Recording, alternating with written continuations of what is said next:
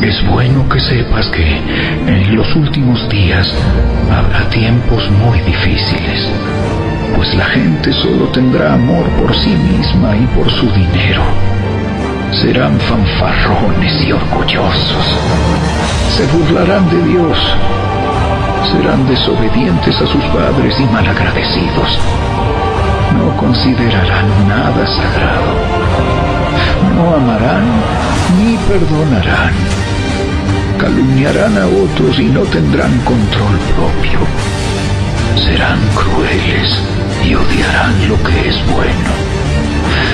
Traicionarán a sus amigos, serán impudentes, se llenarán de soberbia y amarán el placer en lugar de amar a Dios.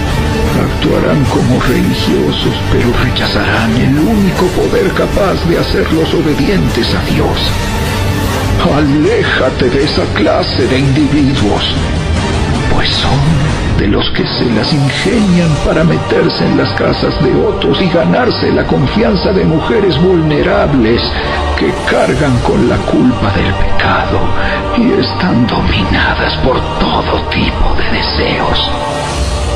Dichas mujeres siempre van detrás de nuevas enseñanzas pero jamás logran entender la verdad. Tal como Janes y Jambres se opusieron a Moisés, tienen la mente depravada y una fe falsa, pero no se saldrán con la suya por mucho tiempo. Algún día todos se darán cuenta de lo tontos que son, tal como pasó con Janes y Jambres.